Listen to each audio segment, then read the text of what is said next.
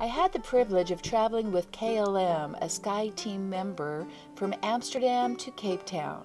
Unfortunately, I was traveling on a coach class ticket, but what is cool about KLM is that you are able to upgrade to business class at a discount either online during check in, which can be done 30 hours prior, or at one of the airport kiosks. Or just get an extra legroom seat or a day pass at the kiosk. It is so easy. With business class, you receive complimentary access to their lounge as well as priority service, which makes your airport experience seamless. This includes priority check in, faster security, and passport clearance, as well as priority boarding. KLM 777-200 new configuration is a 222, so unfortunately, not everyone will have an aisle access.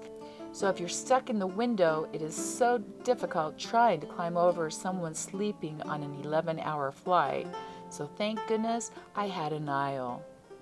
I sat in row 6D, which is a single row behind the galley, which is really crowded and noisy during boarding, but once the flight takes off, it's not so bad. Seats are nice size and nice footrests so you can put your feet up right from the start. The moment you take your seat, you are greeted with champagne or orange juice. Your 17 inch personal entertainment system with a dual screen that allows you to play games or chat with another passenger on board at the same time. With noise canceling headsets, an in seat power port so you can stay connected. World Business Class Comfort Kit. They have pink for women and gray for men. They're changed every year, especially designed by Dutch designers Viktor Rolf. I especially love the little bowl on my eye shades. Your choice of a three course menu prepared by Dutch chefs. The food was okay, but not extraordinary. With fruit or pastry for dessert.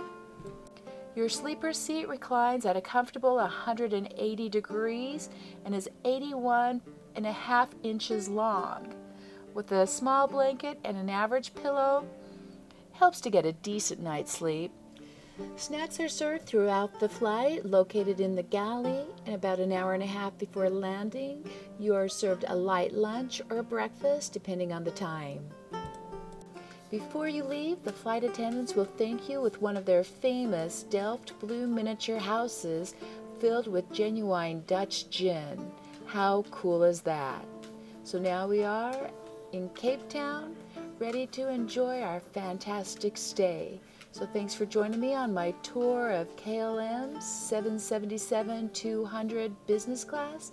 And for more must-see destinations, please subscribe.